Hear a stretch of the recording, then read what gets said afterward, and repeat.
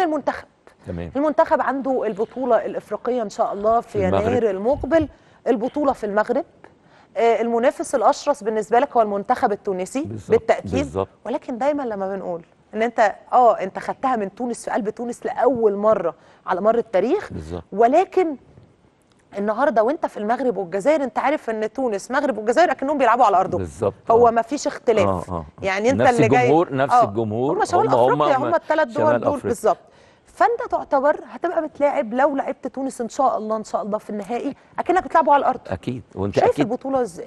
والله أنا شايف البطولة مش هتبقى سهلة بالنسبة لنا خاصة إن الفرق التونسية كمان اتقدمت كتير منتخب تونس اتقدم كتير قوي وكان موجود في الأولمبياد اتقدم برضو بمستوى كويس. فأنا شايف إن النهائي هيبقى مصر وتونس إن شاء الله بإذن الله وشايف البطولة هتبقى موجودة في الملعب. مين بقى يكسب؟ مين مش هيكسب؟ اللي هيبقى موفق أكتر في حراسة المرمى موفق أكتر في الناحية الدفاعية.